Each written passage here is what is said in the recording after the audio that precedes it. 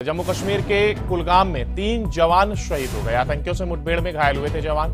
कुलगाम में सेना का सर्च अभियान जारी है। देखिए जम्मू कश्मीर के कुलगाम में ये तीन जवान वीरगति को प्राप्त हो गए। हालाँकि मुठभेड़ के दौरान घायल हुए थे।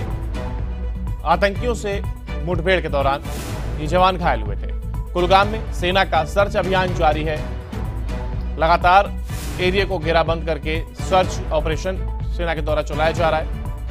जम्मू कश्मीर से बड़ी खबर, जहाँ पर कुलगाम में ये तीन जवान शहीद हो गए। तो जम्मू कश्मीर से इस वक्त की बड़ी खबर, जहाँ पर तीन जवान कुलगाम में शहीद हुए हैं। आतंकियों से मुठभेड़ के दौरान ये जवान घायल हो गए थे। वही सेना के द्वारा सर्च अभियान चलाया जा रहा है। इलाके की घेराबंदी करके सर्च ऑपरेशन सेना चला रही है। आतंकियों से मुठभेड़ में तीन जवान घायल होते हैं और इसके बाद अब ये जवान शहीद हो गए